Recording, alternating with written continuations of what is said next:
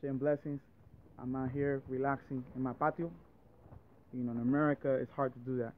You know, especially having five jobs. You know, but finally, I get to relax for the first time in a long time.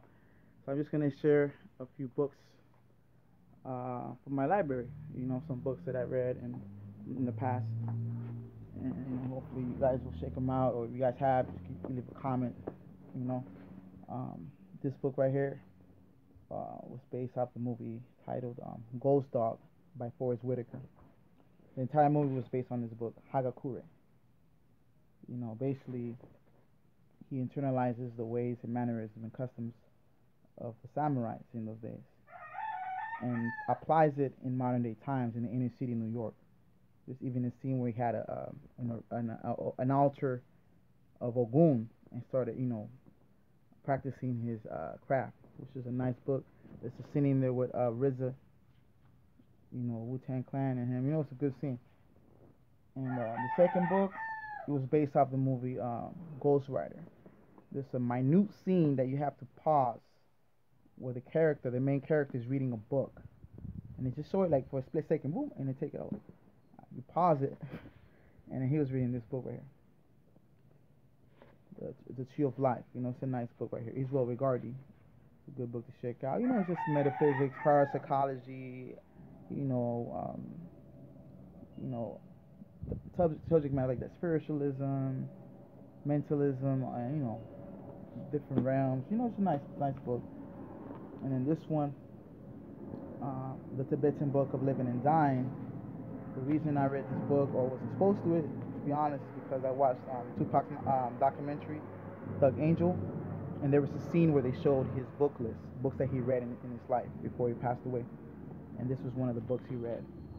And uh, it's interesting um, because in Ifa tradition and culture, we also have um, um, tradition that speaks of a book of this type of uh, information, you know. Um, just like you know, also came in the book of coming forth by day, you know, it's just similarities.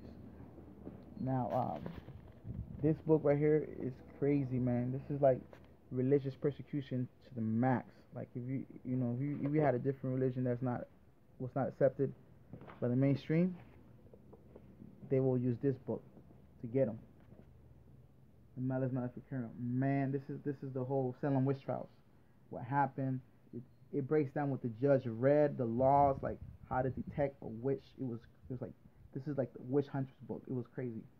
You know, it's sad, man, what what happened to him, but you know, it just shows that um, ignorance is, is crazy, man. When you don't know a culture real good, you know, people will just get hurt. And it, it tried, you know, crazy ways to to determine whether the person's a witch or not. Like later there was a part where they say like, oh, put a person in the water, and if they drown, that means they weren't a witch.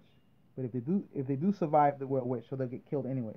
So it's like there's no way. It's not. It's, like a catch twenty two. I mean, there's no way. I mean, once they accuse you, like wow, you know. But you know, this is a book.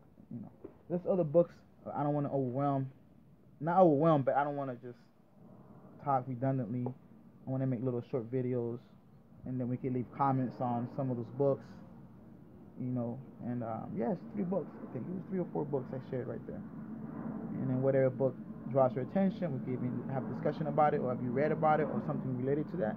Please feel free to comment. I'm gonna put the titles of the books, you know, so you guys could just give your opinion. Because I love learning, I love exchanging knowledge. I like learning from everybody. You know, it's a big world out there. All right, I share booty with. I share blessings, everybody.